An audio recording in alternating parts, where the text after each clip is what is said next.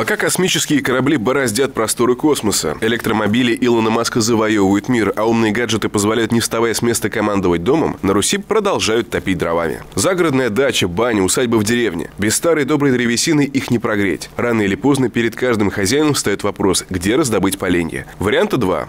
Купить, но это стоит денег, и самостоятельно собрать в лесу. По закону такое право у нас есть, но, как говорится, дьявол в деталях. Запасаться валежником для своих нужд действительно может каждый. Вопрос в том, как его распознать. Деревья, которые упали, не имеют естественных признаков жизни, то есть облетела кора, нет зеленой хвои, листьев, заселено вредителями.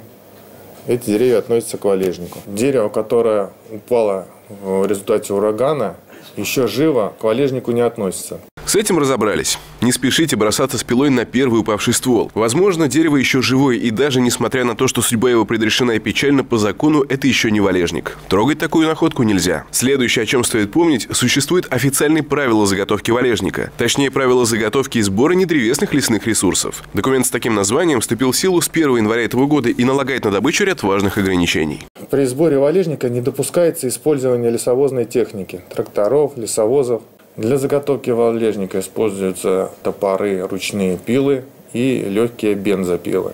Использование, как я уже говорил, лесовозной техники не допускается, чтобы не создавать а, в лесу нарушение лесной подстилки и а, нарушение подроста, подлеска а, в насаждениях.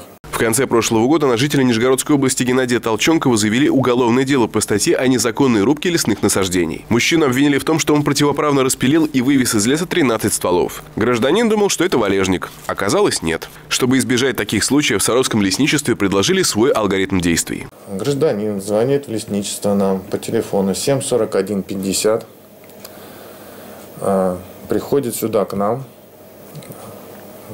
пишет заявление – выезжает с лесником в лес и ищет валежник. Городское лесничество работает по адресу улица Строительная, дом 19, по будням с 8 утра и до 5 вечера.